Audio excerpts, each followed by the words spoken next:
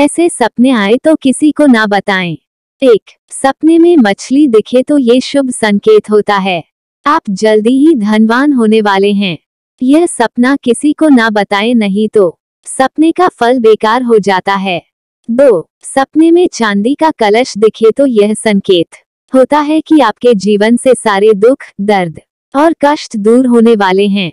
तीन, अगर सपने में आपके माता पिता में आपको पानी पिला रहे हों तो यह शुभ संकेत है कि भविष्य में आपकी खूब तरक्की होगी।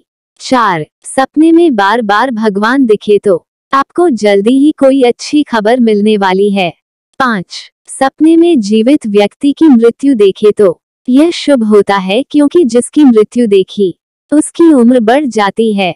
छह, सपने में सफ़ेद सांप दिखे तो यह किसी को ना बताए क्योंकि यह धन, लाभ और मान सम्मान मिलने का संकेत होता है।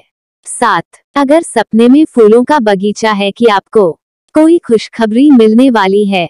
आठ, सपने में अगर भगवान आशीर्वाद देते हुए दिखते हैं तो ये भी किसी को ना बताएँ। यह संकेत है कि भगवान आपके साथ हैं। वीडियो में दी जानकारी आपको पसंद आई हो तो वीडियो को लाइक और सब्सक्राइब ज़रूर करें। धन्यवाद। आपका दिन शुभ हो।